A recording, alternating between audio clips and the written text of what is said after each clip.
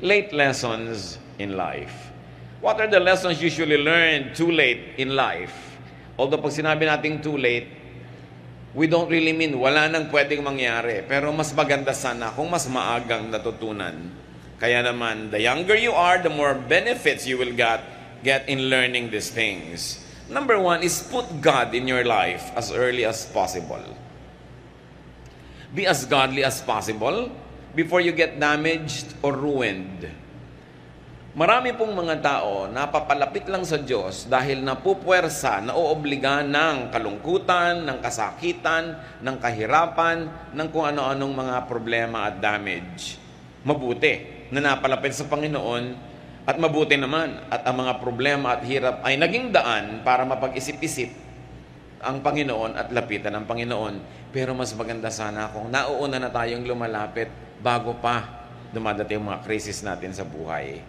Para kahit tayo ay nire-restore ng Panginoon, kung dumaan tayo sa mga hirap at mga kung ano-anong damages, mas madali naman na mas pagandahin na lang ang buhay natin kaysa hanguin pa tayo sa napakarami nating kinasadlakan at ayusin sa napakaraming gusot na sinalihan. Bagamat yon ay nagagawa ng Panginoon. Pero napakaganda kung mas maagang nakikilala ang Diyos. Bagamat walang huli, kahit deathbed conversion, yung talagang huling hininga na nung nakakilala sa Panginoon, salamat, maganda yon.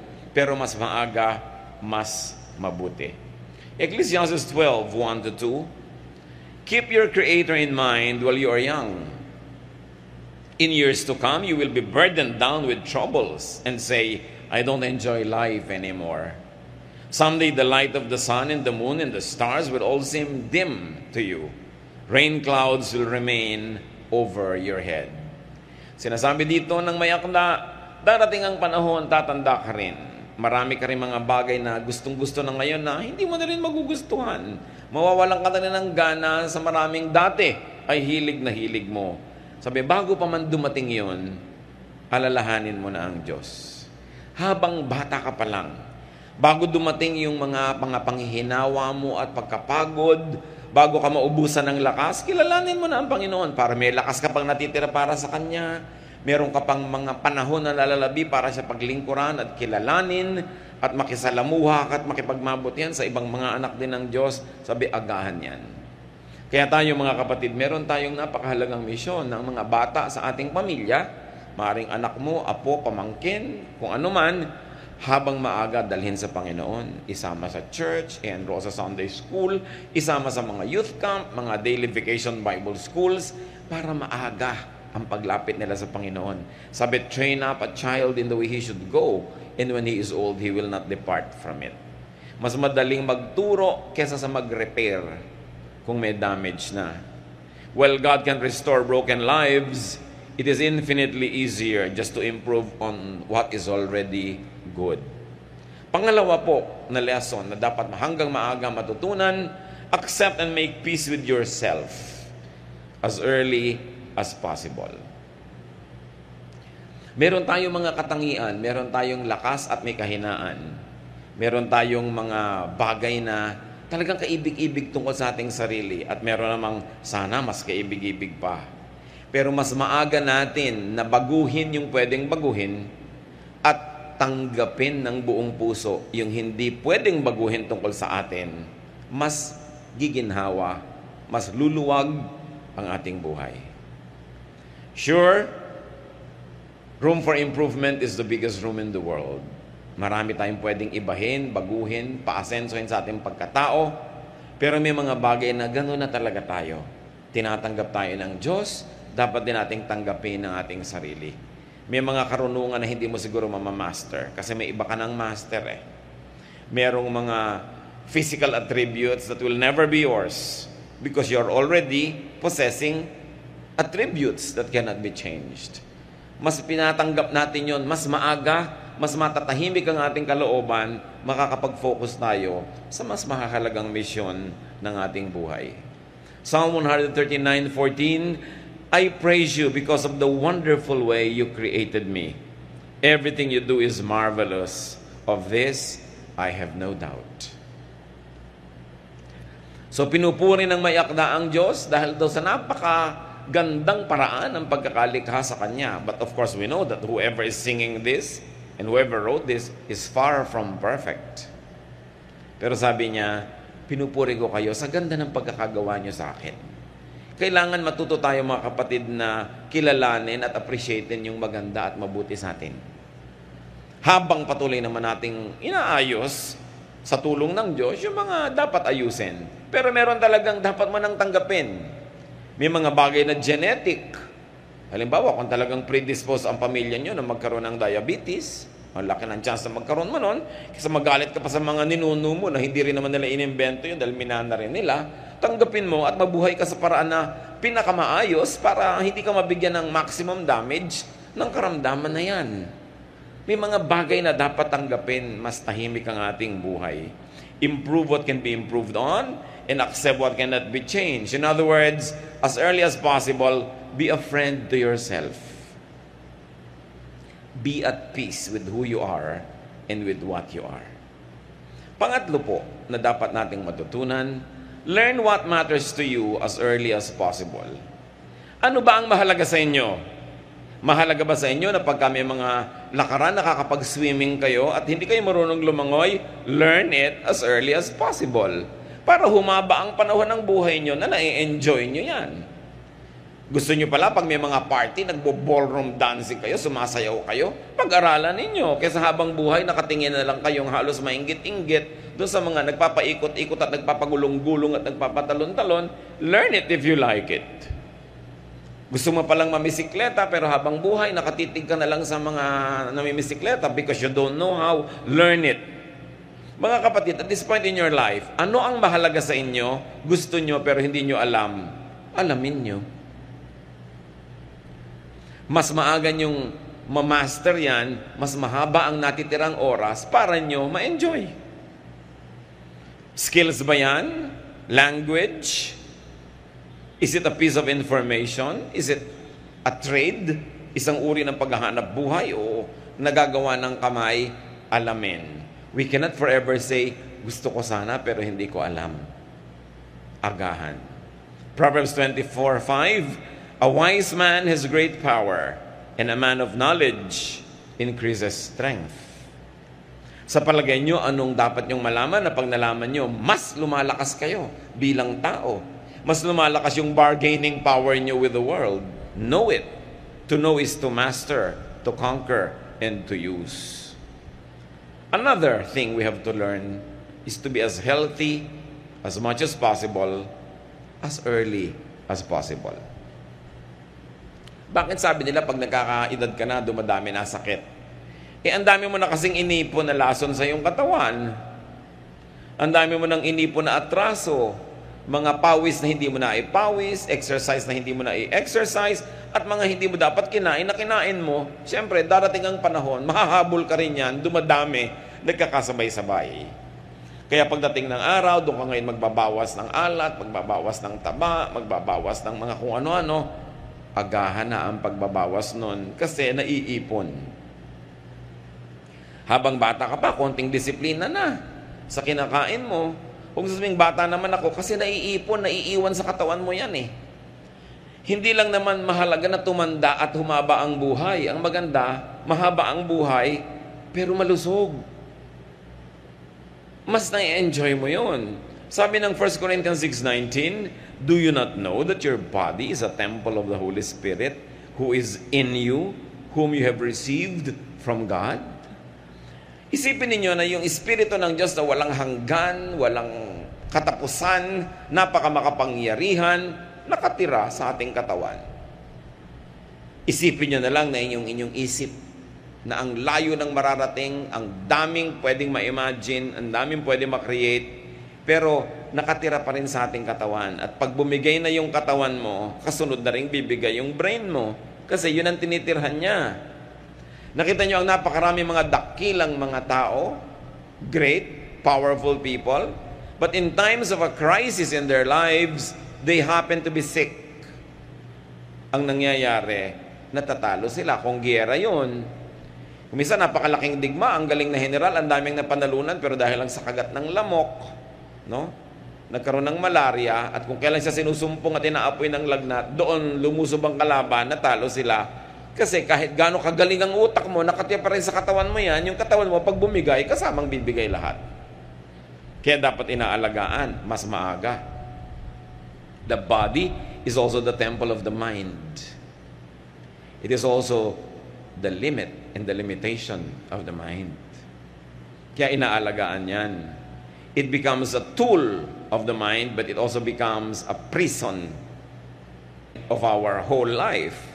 So as early as possible, exercise. As early as possible, be fit. Eat healthful foods. Life is so much easier and nicer when one is healthy. Hindi lang yun mga kapatid.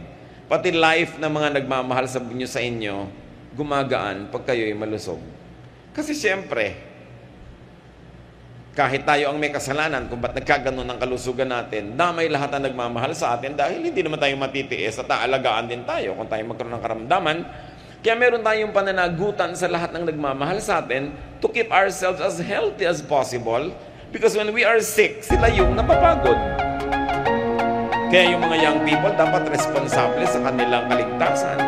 Huwag na kung saan saan ibalipag yung katawan at ipaghampasan at kung saan saan dalin kasi pagka nabagok yung ulo mo at na-paralyze ka, yung matandang nanay mo pa rin na mag-aalaga sa iyo. Sino? Pag nagkaroon ka ng mga karamdaman,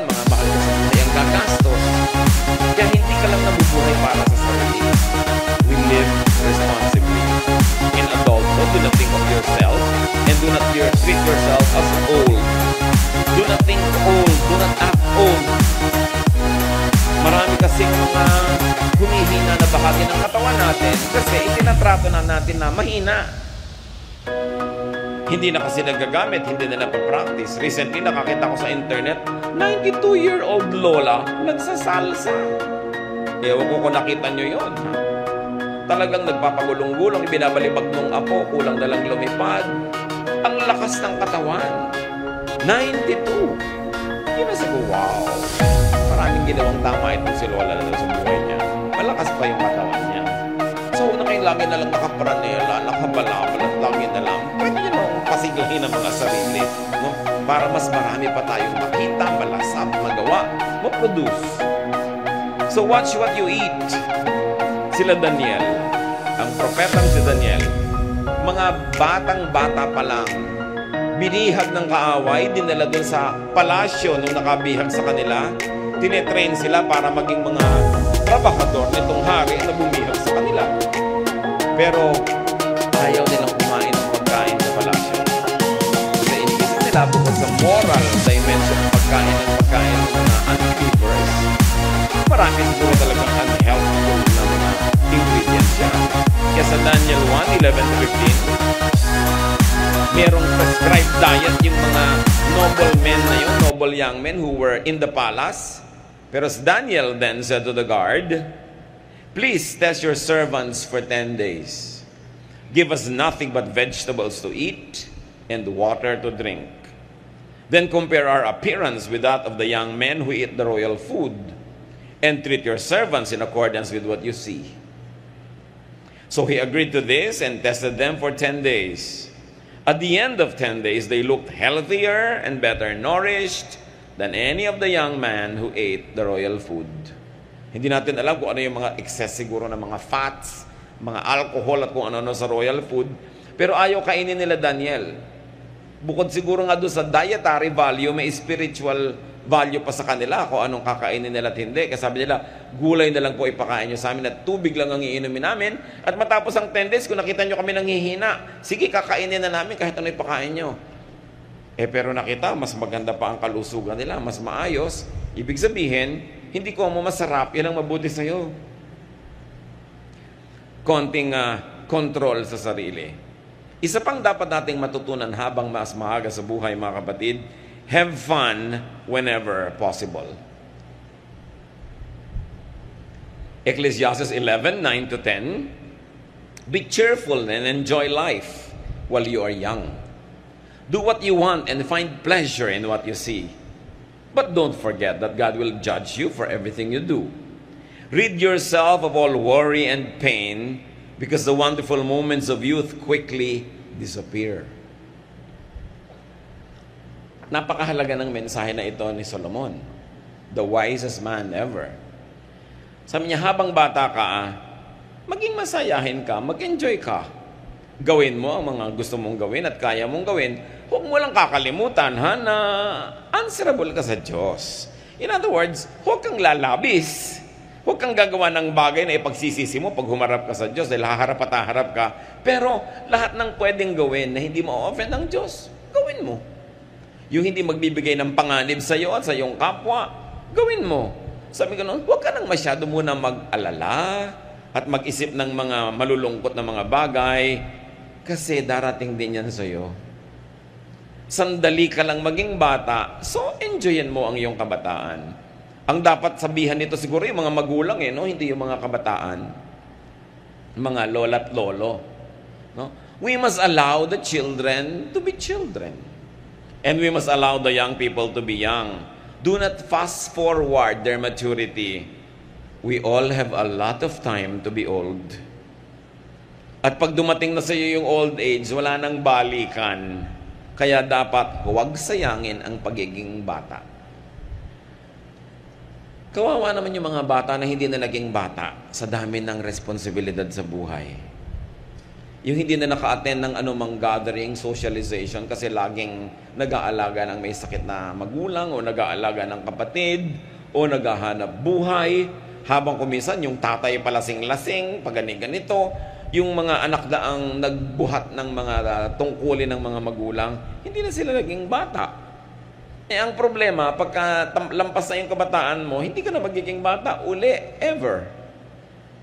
So, isa pong malaking kalupitan, mga kapatid, na nakawa natin ang mga kabataan ng kanilang pagiging bata. Siyempre, medyo hindi nag-iisip pa yan ng marami mga bagay, kaya parang hindi seryoso. Sandaling-sandali lang yon eh. Tulad din ng ganda sandaling sandali lang ang kagandahan ng isang bata. Anong sabi ni Shakespeare? A rose will bloom, it then will fade. So does a youth, so does the fairest maid. So, samantalahin. Huwag natin silang pigilan na magkaroon ng mga kasiyahan hanggat hindi offensive sa Diyos. Yan naman lagi ang hangganan eh. May, siyempre may hangganan ng lahat ng bagay. Pero karamihan naman kasi sa atin, yung bata, huwag ka malikot. Anong gusto mo? Maparalyzed na siya at mag-wheelchair na. Eh, bata nga eh. Siyempre, may likot. May hangganan din lang. Huwag ka naman makabasag. Huwag kang makasira naman kung ano-ano dyan. Bata ay bata. Mga young people, biglang magtatawa na ng malalakas, iirapan agad ang mga lola. No? Eh, mga young people, sandali lang yan. Pag nalaman na nila ang mga tunay na issues ng buhay, pag nagbabayad na sila ng mga kuryente at tubig at mga bayarin, pagka nalaman na nila ang maraming maraming mga suliranin ng mundo, hihina na rin ang tawa niyan. Diba? So habang kaya pang lakasan, lakasan. At kahit matanda na kayo, marami para kayong bayarin, labanan nyo yan, lakasan yung tawa. Diba? Kasi, sabi nga ni, ni Balagtas, sapagkat ang mundo'y bayan ng hinagpis mamamayay sukat, tibayan ang dibdib. Marami talagang dumadating na problema. So, tuwing pwede, magsaya ka. Kasi may mga panahon sa buhay natin, ibigin mo man, talagang mahirap magsaya. So, yung masaya na, huwag mo nang palungkotin. Meron namang ganun eh. Nasa pagtitipo na, nasa party na, nasa kasalan na, naninimangot pa. Huwag kang manimangot at malungkot kasi may mga kamag-anak ka mahal sa buhay na siguradong mamamatay. Alam nga namang hindi mamatay, eh, namamatay tayo. Doon mo na ireserba ang lungkot mo. Siguradong maraming panahon. Pero pag ang panahon ay kasiyahan, tanggalin mo lahat ng lungkot mo, imagination mo kung ano-ano, magsaya ka. Kasi dapat tamasahin, samantalahin ang mangilan-ngilang pagkakataon na pwedeng sumaya. At pag nakakakita tayo mga kapatid ng nagsasaya, huwag kayong killjoy. Hindi kayo makatulog pero nagkakantahan sila, magpasa kayo ng buto ng kakao sa tenga nyo para makatulog kayo at sila sumaya. Alam nga naman kayo itong matutulog, lahat patahimikin nyo na. Di ba? Maraming panahon ng katahimikan na ang tao hindi mo man pigilin na mag-ingay, kusang tatahimik kasi maraming darating na dagok ng buhay. So habang hindi dumarating yun o wala, bakit nyo naman dadagukan? Kailangan marunong tayong magrespeto sa taong sumasaya. May bakasyon, huwag nyo ungkatin na ungkatin ang mga problema. Kaya nga nagbabakasyon. Magkaka-opisina kayo, magre-retreat kayo, magpupunta kayo ng bakasyon kung saan, huwag nyo pag-usapan ng trabaho. Pag-usapan nyo pag nandun na uli kayo sa inyong opisina. Kasi bihira, gumastos pa kayo para magpunta halimbawa sa Sikogon. Tapos nung nandun na kayo, pinag-uusapan nyo yung mga nakakainis na bagay sa office. Sinayang nyo inyong pagkakataon. Maraming mga tao, sinasayang nila ang pagkakataong sumaya. Bihira-bihira lang naman magkaroon ng malaking kainan. Doon pa magjejeta. Kali kalimutan nyo nga yung jeta nyo kung masarap ang mga pagkain. Dahil madalas naman talagang jeta kayo eh, dahil kulang ang budget, di ba? So doon na lang kayo magjeta. Darating din yon. Pero yung manaka-naka na mayroong festival, naku, enjoyan mo yan. Kesa sa pag dumarating ang panahon ng gutom, inaala-alala mo yung mga dapat sana'y nakain mo pero hindi mo kinain dahil nag-iinarte ka. No? Magsisisi ka ngayon. So enjoy it. Enjoy youth. Enjoy young adulthood. Enjoy adulthood. In fact, enjoy every stage of life. Ecclesiastes 3, 1 to 11 can be summarized as saying, everything on earth has its own time and its own season. There is a time for laughing and dancing. And if it is not your time, hayaan mo yung iba to enjoy their time. Kung sino ang nagsasaya, siya ang may karapatan. Yung ayaw magsaya, yun ang lumayo. Pero huwag niyong pigilin yung nagsasaya. Hindi niyo alam, baka bukas may malalaman siya kahindik-hindik na bagay na kahit hindi niyo pigilin, talagang mawawala na yung saya niya. Unfair naman na hindi man lang siya nakapag-charge. Malolobat pala siya bukas, hayaan niyo siyang mag-charge ngayon. No? Para may baon siyang saya sa buhay. Kaya mahalaga mga kapatid, yung maliliit na bata, i-maximize natin ang saya nila. Para marami yung baon habang tumatanda sila, nawi-withdraw ng nawi-withdraw yun, kaya damihan nyo yung deposit na love habang sila'y bata pa. Hindi ko sinabing palakihin sila sa layaw, sa saya. Pero hindi ko sinabing i-exempt sila sa pagod, sa training, sa disiplina. Pero dapat ginagawa man natin ang lahat ng yon, may kakambal na saya. At makikita nyo sila yung magiging mga matitibay na tao, mapagbigay, maibigin, at masasarap na mga kasama. So, there is a time for laughing and for dancing. Maximize that time. Create, invent ways to be happy. Be youthful at heart and let the young be young. Kumisan, ang ikinakalungkot ko po, pag marami mga nagiging born again Christian, akala nila bawal sumaya. So, bawal na lahat, no? Bawal na lahat. Napaka maunawain ng Diyos Gawin nyo kung ano yung nagpapasaya sa inyo. Maliba na lang, alam nyo talagang maling-mali. Ngayon, medyo gray area. Pero gustong-gusto nyo gawin? Napakabait ng Diyos para Kanya unawain. No? So, ang ating laging panghawakan, yung bait, hindi yung higpit ng Diyos. Mabait siya. Ang mahigpit lang kuminsan yung lola mo o yung tiya mo na old maid, mas mahigpit pa talaga sa tatlong po na pinagsama-sama yan. Bakit? Hindi kasi siya nag enjoy sa buhay. No? Kaya tuloy, gusto niyang idamay halos lahat ng tao na huwag na rin mag-enjoy sa buhay.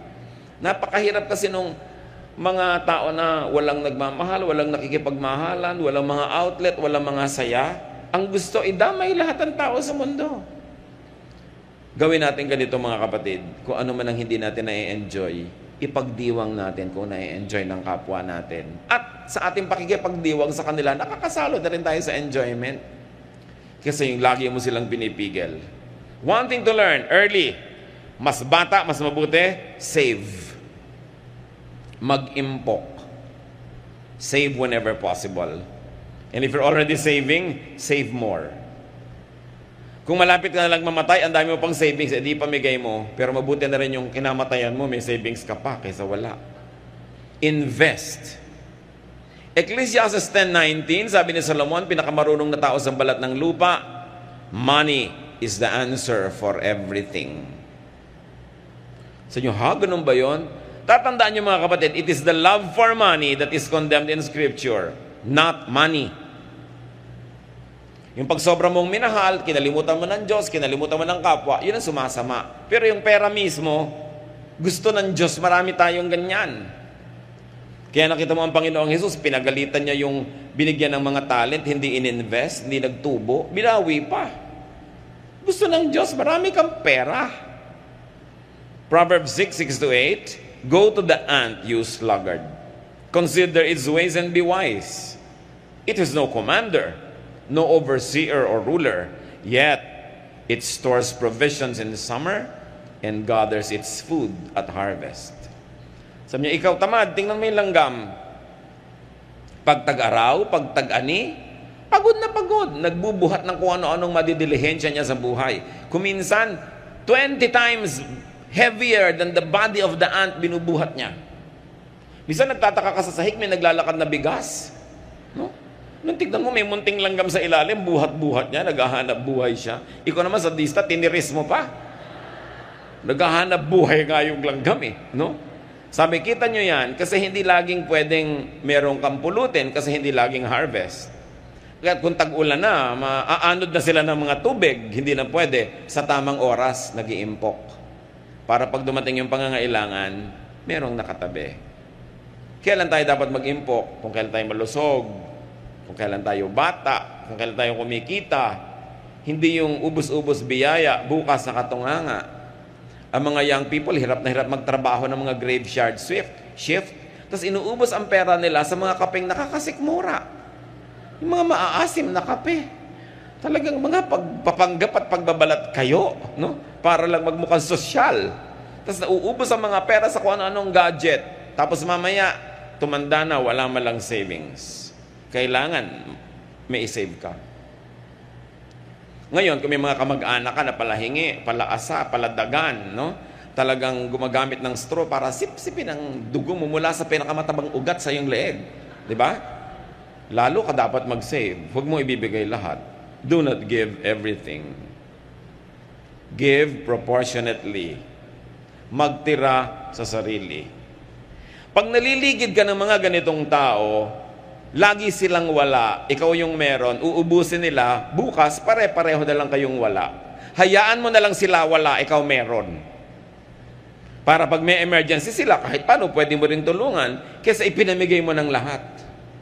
Lalo mga magulang, alam niyo naman ang mga Pilipinong magulang, ibibigay ang lahat sa anak. Kung umaasa kayo na lahat ng anak ay itatagod kayo sa pagtanda, eh paano kung hindi mangyari? Paano kung nakapag-asawa yan ng ubod na sama ng ugali? At nakulam yung anak nyo at nailayo talaga sa inyo. O anong gagawin nyo ngayon? Binigay nyo lahat. Magsisimang kayo, 80 anyos na kayo, 70 lampas na yung climax ng pagkita nyo, anong gagawin nyo? Magsisisi na lang kayo hanggang humina kayo ng humina, maubos ang maubos. Don't give everything. I'm telling you, give, but give proportionately. May tinatabi ka. Ang God is God of proportion. Ang Diyos nga, 10% lang hinihingi, di ba? So, ibig sabihin, may tinitira ka sa sarili mo, sa ganito, sa ganon. Dapat ganon. Kung kayo'y kumikita-kita, medyo katanghali ang tapat ng inyong buhay, walang ginawa ang mga kamag-anak nyo kundi manghingi, Paano kayo magkakaroon? Ipinapayo ko lagi sa iba, maghulog kayo ng lote. Maghulog kayo ng anumang bagay na alam lahat ng kamag-anak niyong may hinuhulugan kayo, therefore, hindi nila kayo dapat obligahin na lagi magbigay sa kanila dahil may hinuhulugan kayo. Tapos pagdating ng panahon, di ibenta nyo, parang savings, parang forced savings. Kasi kung laging cash ang pera mo, papapakin talaga ng mga tao yan. Wala kang maiipon. No? So magtira sa sarili. At habang maaga, lalo't kung naniniwala kayo, get a good health insurance coverage. Mabuti na yung nagkakasakit kayo, ang inaalala nyo lang, e paano gagaling, hindi yung paano magbabayad. Malakas magpalala ng sakit, yung bills. Malakas magpataas ng lagnat. Pagka nakikita mo yung mga bills. Kailan kayo kukuha dapat ng health insurance coverage? Habang bata kayo kasi mura pa yung premium. Alam niyo na yung mga insurance, eh, pero hindi ka naman yan love. Negosyo yan. So habang nagiging 60 ka, lalong nawawala na yung mga privileges mo o 70. Pero at least umabot ka malang sa edad na yun na covered ka kasi mamaya nagkakaroon na ng mga bagong products yung mga insurance companies na hanggang libing, pwede ka ng client nila. Meron ng ganon, ano? Pero maganda meron kayong ganon. Kaya lang, pakatinuan ninyo. Dahil maraming mga insurance companies nakaka 1, 2, 3. No? Tinatakbuhan ka bigla, nawawala bigla. So, tingnan nyo yung record, track record ng mga kumpanya. But it's nice to have that. Get educational and health insurance for your children. The younger they are, the cheaper. Ako, isang patotoo sa ganito, napapatunayan ko this works. Yung mga insurance, health insurance, educational plans, dami ko nang nakita na talagang it works. Kaya lang nga, talagang medyo maghihigpit ka ng sinturon habang nagbabayad ka ng premium, eh limang taon lang naman yon. At kadalasan, yun yung limang taon na bata ka pa, nasa peak ka pa ng pagkita, pwedeng gawin. Kita niyo yung babaeng pinupuri sa Proverbs 31.25? She is strong and graceful, as well as cheerful about the future. Sabi ng NIV, she can laugh at the days to come. Sino ang pwede magtawa-tawa sa darating na uh, kinabukasan? Yung may ipon. Magulang ka, magkakalit sa yung anak mo, sabi mo, magkakalit sa anak ko, may pambayad ako. Di ba? Gaano karami nakakatawa ting hunyo? Pag nakasalubong may mga muka, mga mukhang Biyernes Santo, eh hunyo. Kasi enrollment, walang savings. Gano'ng karami yung nakakatawa kapag naalala mo, naku, tatanda ako, kailangan ko ng wheelchair. Bibili ako ng may mga umiilaw-ilaw pa habang gumugulong. Eh di yung may pambili, di ba? Sinong nakakatawa sa mga darating na sakit? Di yung may pampa-hospital, she can laugh at the days to come. Yung Proverbs 31.25 lady, because she has savings. So mahalaga meron yan. Isa pang lesson mga kapatid, if you have a chance, I like to emphasize this, if you have a chance, dahil yung iba gusto pero walang chance, and you are psychologically and emotionally fit to marry, marry.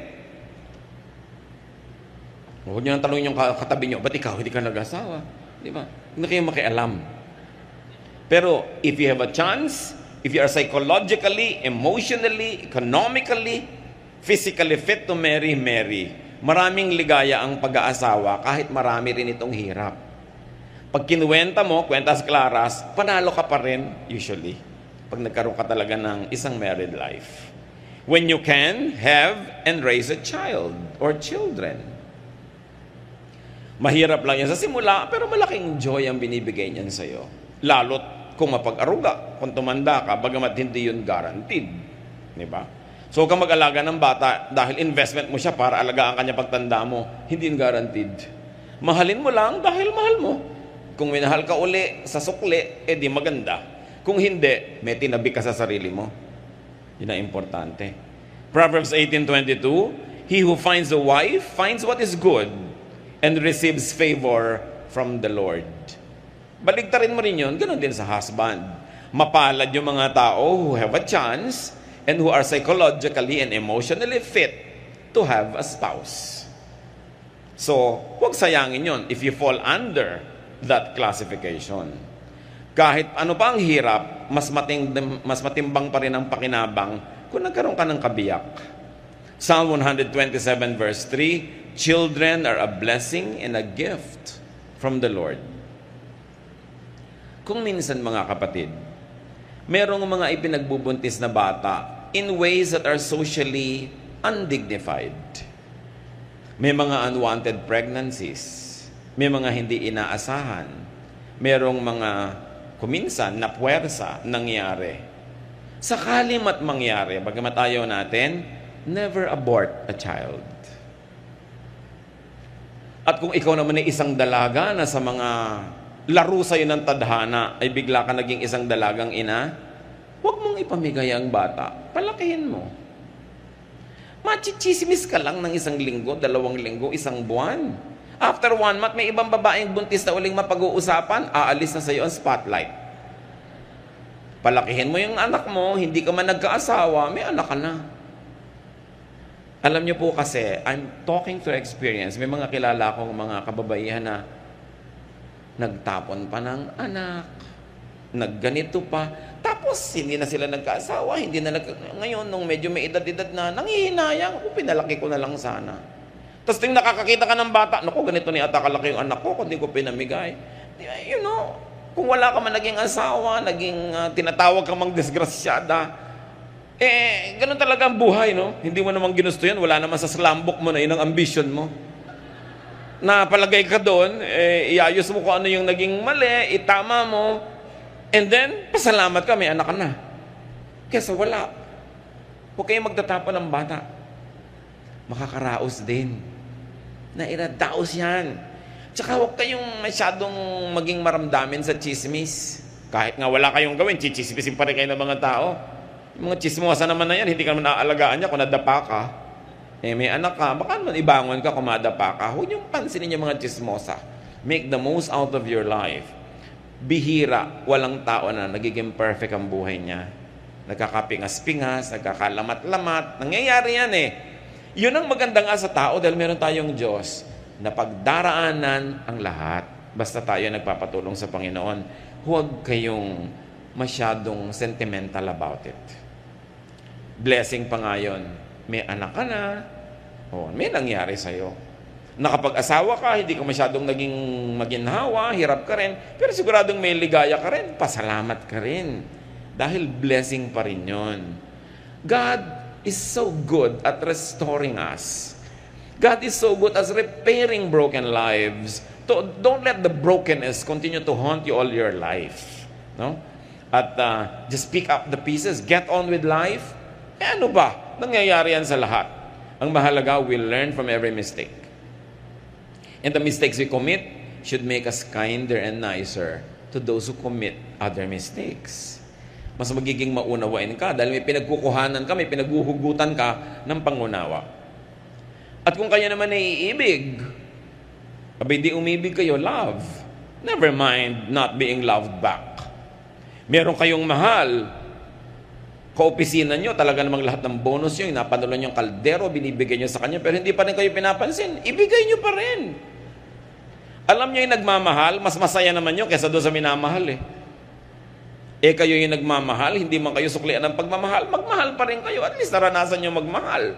Diba? Kesa sa hindi na kayo minahal, hindi pa kayo nagmahal. Di wala na kayong naranasan. It's all right to love and not be loved back. Because loving by itself gives you a lot of happiness. Eh kung sinuklian pa, kahit konting pagtingin, o oh, malay nyo naman. So huwag kayong matakot umibig. Yung mga nabigo na ng mga labing walong beses, may mga labing walo pa ulit nalalabi. Ubusin nyo. Di ba? Huwag kayong sobrang nadala, naging playing safe, ayaw nyo na. Buhay pa kayo eh. Ba't umaayaw na kayo? Ngalan nyo naman, dito sa ikadalawamput pitong pag-ibig, yan na talaga matupad ang mga pangarap nyong ilakad hanggang altar. Habaan nyo ang lakad. Mula pa lang doon sa Harrison, maglakad na kayo. Para makabawi kayo. No? So never mind kung hindi ka minamahal. Mahal mo pala. Mahalin mo pa rin. Hindi ka binibigyan ng pag-asa. Mahalin mo pa rin. Huwag mong ilagay sa kanya yung pasya kung anong gagawin mo sa pag-ibig mo sa buhay. Sasaya ka rin. He who loves enjoys more than the one being loved. Pangwalo, Hold no grudges. Have no regrets. Discard anger from your heart. Mas maaga, mas mabuti. May gumawa sa'yo ng masama nung araw, hanggang ngayon inaalala mo pa, ang totoo nun, paulit-ulit na nagagawa sa'yo yung masama kahit wala na siya dyan, kasi nire-replay mo. Lugi ka. Kung meron kayong dapat patawarin, huwag din pag naghihingalo na siya o naghihingalo kayo, tsaka pa kayo nagpapatawaran, patawarin nyo na agad. Makakalaya siya, makakalaya kayo, mas luluwag ang buhay. Huwag kayong magtanim ng sama ng loob. Yung puso nyo, dapat tinatayaman ng pag-ibig, hindi ng sama ng loob, hindi ng galit, hindi ng mga hinanakit, himutok, hindi ng mga pains and sorrows. Minsan na kayong nasaktan, tama na. Ilibing nyo na forever, magpatawad na kayo para hindi maulit. Kasi habang sinasariwan nyo, bumabalik yung galit, bumabalik yung sakit, sinong lugi? E kayo. Mas maaga, mas mabuti. Kasi maiksi ang buhay. Sayang ang bawat saglit na inubos mo sa pagiging galit. Pwede naman sanang inubos sa pagiging masaya. It is your decision. Ephesians 4.31 Stop being bitter and angry and mad at others. Don't yell at one another or curse each other or ever be rude. Sayang. Minsan ka lang nagkaroon ng araw na ganito, ng petsang ganito, ng taon na ito sa buhay mo. May nakaaway ka pa, di ba sayang? Samantalang magsamaganda kung may naging kaibigan ka. Huwag sasayangin ang bawat sandali. Philippians 3.13, I forget what is behind and I struggle for what is ahead. Nililimot ko na yung tapos na. Sabing ganun. At kayo, mga kapatid, makinig kayo mabuti. Kung meron kayong kamag-anak, kapatid, mahal sa buhay, asawa, magulang, na nakagawa ng isang malaking pagkakamali nung araw at alam nyo yon at pwedeng pwede nyo isumbat pwedeng pwede nyo siyang tapunan ng isang tingin pagka siya ang tinatamaan ng conversation kahit hindi alam ng iba. Pwedeng pwede nyo siyang i-blackmail. Huwag nyo gawin. Release the person. Limutin nyo na. At ang mga nagawa nilang mga malino lalo't ikinahihiya nila kinasasama ng loob huwag na huwag nyo nang uungkatin pa. Yun ang pagpapakatao. Sinasabi, don't hit below the belt. Kahit sa boxing, may batas. Eh, kalaban mo yung sa boxing, yung pa ba namang kapatid mo, mahal mo sa buhay, yung pa ang tuwing meron kang galit o inis, inilalabas mo yung baho niya, inuungkat mo yung pagkakamali niya, it is cruel, it is unkind, it is ungodly. And even if you are able to hurt the person, do you think that you can get out of it unscathed? No kayo man kahit galos magkakaroon. So huwag na huwag nyo nang uungkatin pa, lalot maselan, lalot pinagsisisihan o ikinahihiya ng, ng inyong kapwa. Pangangsyam na magandang maalala bago tayo lubugan ng araw sa ating buhay, be nice and friendly to your children or to your children-in-law Sandali lang, minsan lang maging bata ang bata. Pag pinalaki mo pa sa kalupitan, pag pinalaki mo siya sa iyong masamang ugali, sa iyong pagdaramot, sa iyong pananakit, anong itinanim mo sa puso niya? Puot sa'yo, galit, hinanakit. At habang patanda ka ng patanda at pahina ng pahina, siya tong lumalakas Kumbaga sa araw, papalubog ka na, siya nagtatanghaling tapat pa lang. Lahat ngayon na ikabubuti mo sa buhay, iaasa mo lang sa kanya dahil mahina ka na. Ano ang maaalala niya? Bigyan niyo ang mga bata ng mga magagandang maaalala. Una, para sa kapakanan nila. At kung gusto niyo isipin, meron din kayong benepisyo sa kapakanan niyo. Kasi kung anong inyong itinanim, aanihin niyo. Merong mga magulang wala man lang ginawang mabuti sa anak, pinagmalupitan pa, sinaktan, kinawawa, inabandona, pero ngayong matanda, inaalagaan pa rin ang anak. Can you imagine kung gaano pa kasindi, ka-sweet palalo at kaganda yung pag-aalaga kung naplaniman ng maganda? Kung minsan ginagawa mo lang, obligado ka dahil magulang mo, pero wala ka ng gana dahil kumisan malayo ang loob mo o may kim-kim ka rin sama ng loob. Pero ang sarap-sarap naman nung mag-aalaga ka na dahil mahal mo. Hindi dahil obligado ka. So, ang pagpapalaki ng mga bata, pakisamahan natin. At mga biyanan, lalo kayo yung donyang-donya pa yung edad nyo. No, halimbawa, mga 40, 45 pa lang kayo, malakas na malakas pa kayo, kumikita pa kayo, gangga santol pa yung mga hikaw nyo dyan. Talagang mga bag nyo, ganggaba yung sa laki, dami-dami yung dala. Yung meryabang pa kayo, para pa kayong pabo na naglalakad dyan, yung mga balahibo nyo pumapagaspas maging mabuti kayo sa mga manugang nyo. Kahit yung manugang nyo, wala pang nasabi sa buhay, wala pang nagagawa, wala pang say, nakikitira pa lang sa inyo, ibinibili nyo pa lang ng gatas yung anak nila, kayo yung donya-donya, tatanda rin kayo. Pag ang itinanim nyo sa manugang nyo hindi maganda, anong ina-expect nyong aanihin? Ilalayo nila yung loob ng anak nyo sa inyo. Nakikitira lang yan sa inyo dahil walang choice. Oras na nagka-choice, lalayasan kayo niyan. Magpapakalayo-layo. Hindi ibibigay sa yung number ng cellphone nila. Tetelegrama ka lang. No? Sa RCPI. Can you imagine? Ang tagal nun. So be nice. Magtanim ng mabuti. Lalo sa manugang kasi hindi mo dugo. Yung sarili mong anak, pagtsatsagaan ka niya kahit anong mangyari, ay yung manugang mo. Ang masama ngayon ito, ang tanda mo na, ayaw mo man, kailangan mong maalagaan ka, at yung lang manugang na mag-aalaga sa'yo, paano ka ngayon? Nice mo ngayon kasi wala ka choice. Samantala kung nung may choice ka, naging nice ka, di ba mas masarap? Mas maganda. Ang matatalinong biyanan, ha? Nakikisama sa manugang. Dahil part na yun ng pamilya nyo. At bihirang ina ang nanalo sa manugang. That's the truth. Pag nahumaling na yung inyong anak sa kanyang asawa, lalo't amoy sabon, bagong paligo, anong nanay-nanay? Di ba malilimutan ka? So mabuti pa lumagay ka sa lugar kung hindi mo man gusto yung manugang mo dahil lang matalino ka. Kasi yun ang magandang gawin. Ngayon, di gustuhin mo na. Total gusto ng anak mo. Mag enjoy ka pa kaysa mainis. Wala ka na mga magagawa. Nandyan talaga yan. Tuwing may okasyon. Kasi manugang mo yan. Maraming mga mabienan, hindi sila marunong. Nakikipagyera sa manugang. Anong mapapalaan nyo? Sa palagay nyo ba magwawagi kayo? Wala. Stress lang.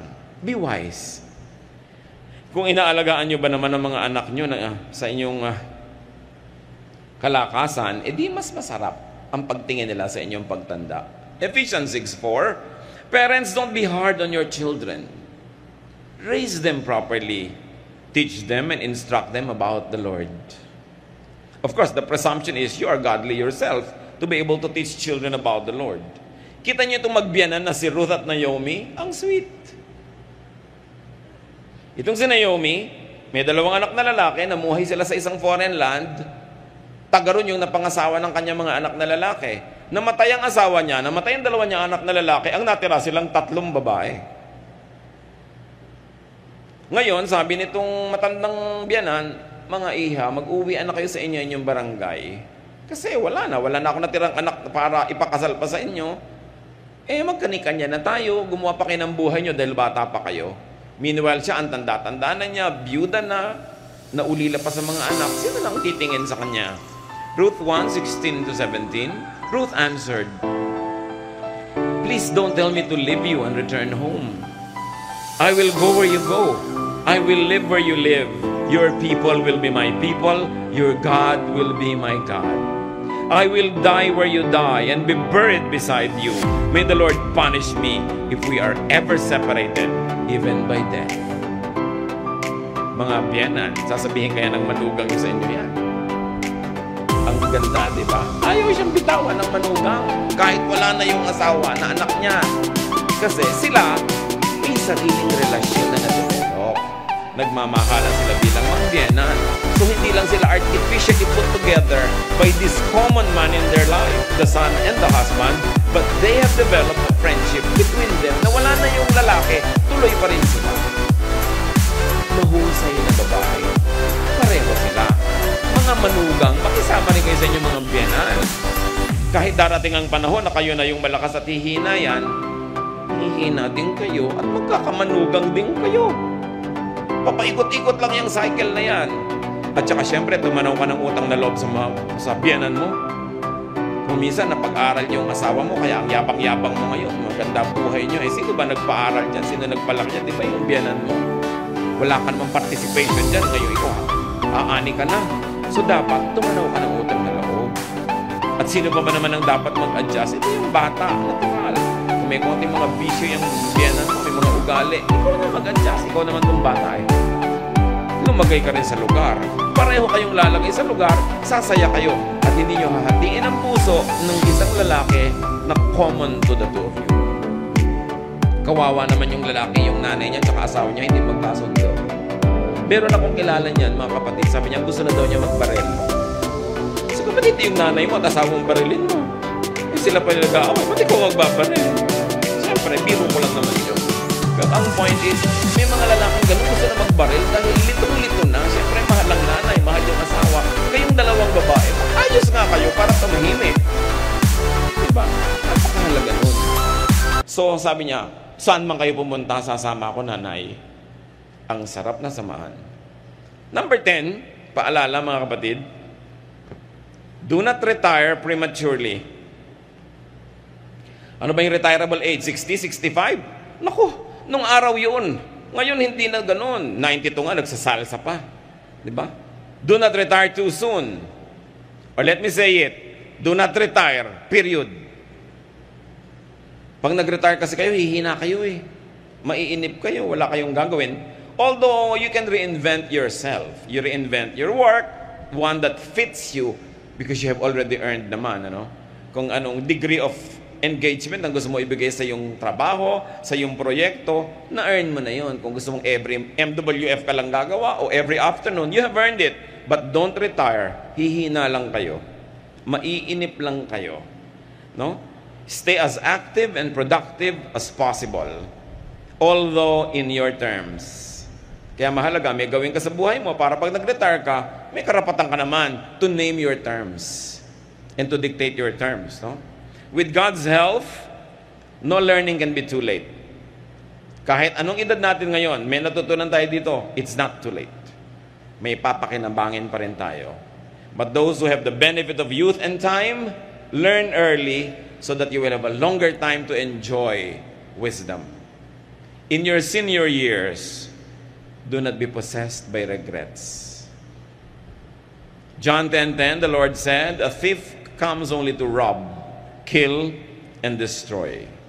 I came so that everyone would have life and have it to the fullest."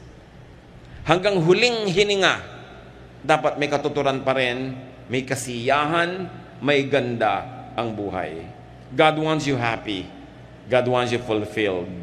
Learn important things early enough. Thank you, Lord, that you remind us. Thank you, Lord, that you are concerned that we have a meaningful life. Ituwid nyo nga po kami, Lord, kung may mga kalikuan kami. Itama nyo kami kung may mali. At sa mga ginagawa na naming tama, lalo pang matama sa tulong nyo. Para kami magkaroon ng buhay na makahulugan, masaya, mabunga. At hindi lang yon, yung buhay namin maging kasiyahan din ng mga nabubuhay sa paligid namin. May living with us be a pleasure to those that have to live with us. Magbulay-bulay pa tayo mga kapatid, maghanap ng mga personal na application para lalo tayong makinabang sa ating pagsasalo-salo sa sandaling ito.